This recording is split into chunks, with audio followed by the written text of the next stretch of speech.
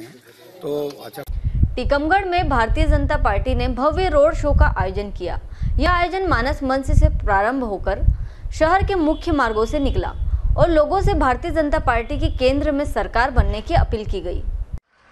अब सहनसा तो उनका परिवार है। नेहरू जी थे इंदिरा जी आई राजीव भैया आए सोनिया दीदी आई राहुल गांधी आए। अब प्रियंका जी अब आपको मैं बताता हूँ क्यों लाए हैं प्रियंका जी को मालूम है आप लोग? मैं आज एक रहस्य उद्घाटन कर रहा हूँ। सोनिया जी का बेटा कौन? राहुल जी। अब राहुल जी का बेटा है कोई? या बेटी है कोई? नहीं है। वो हारने के बाद कांग्रेस किसी के हाथ में नहीं चली जाए। दीदी को ले आओ भैया प्रियंका जी को। ये राजनीति है कांग्रेस भारत में विपक्ष की लड़ाई लड़ रही है और भारतीय जनता पार्टी देश सेवा की। एक भी पार्टी ऐसी नहीं जो पाँच सौ तिरासी, पाँच सौ तैतालीस सीटों पे लड़ रही हो। जरा पता करिए ना कांग्रेस कितने पे लड़ रही है। पचास से नीचे सीटों पर सब पार्टियाँ लड़ रही है।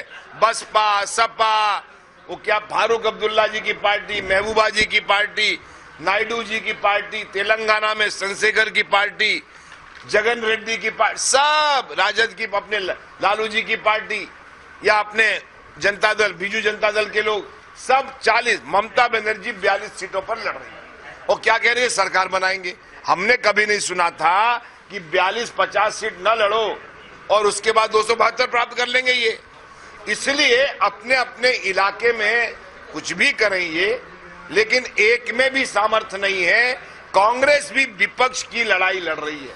और ये पहली लड़ाई है जब जन जन में आपका ये चैनल लेके जब आप जाते हो, मैं सब इंटरव्यू देखता रहता हूँ। आज भी जब आ रहा था तो एयरपोर्ट पे देख रहा था। आप किसको वोट देंगे? अरे साहब वी वांट नरेंद्र मोदी। आप किसको? सर देश सुरक्षित है। देश कह रहा है नरेंद्र मोदी और राहुल गांधी जी विपक्ष की लड़ाई लड़ रहे हैं। लेकिन अब वो फेस रीडिंग करते हैं उनको सिकुड़ना खेलना यही दिखता है।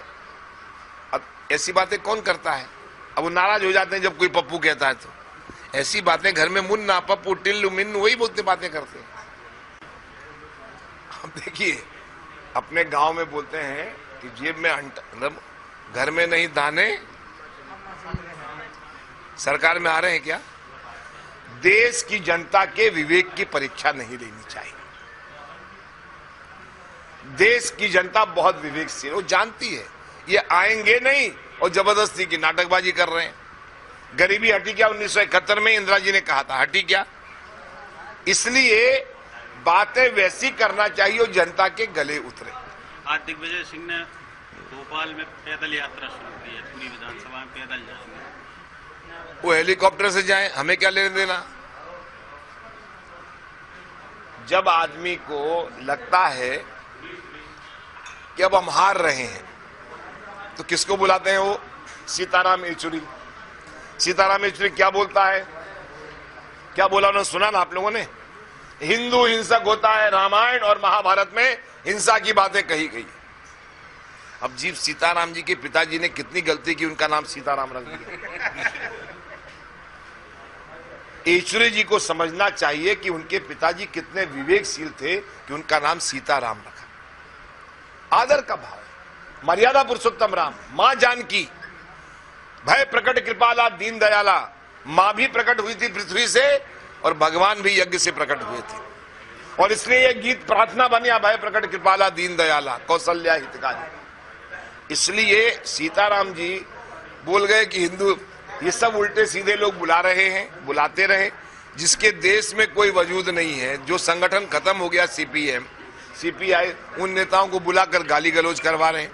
दिग्विजय सिंह जी ने, देखिए, दिग्विजय सिंह जी हमेशा साध्वी से मात खाते हैं। इसी टीकमगढ़ की बेटी साध्वी उमाश्री भारती ने 2003 में 10 साल के सत्ताधारी दिग्विजय सिंह को किसने उतारा था?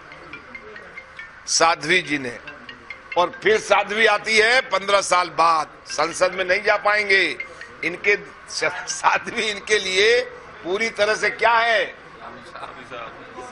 इसलिए उनको समझना चाहिए। वो तो सोचे थे कोई लड़ेगा। अब गिर गए। अब उनसे पूछे कहते मैं भोपाल में मंदिर बनाऊँगा। हमने कहा कि राम मंदिर में क्या सहयोग करोगे? वहाँ समर्थन कर दो कि अयोध्या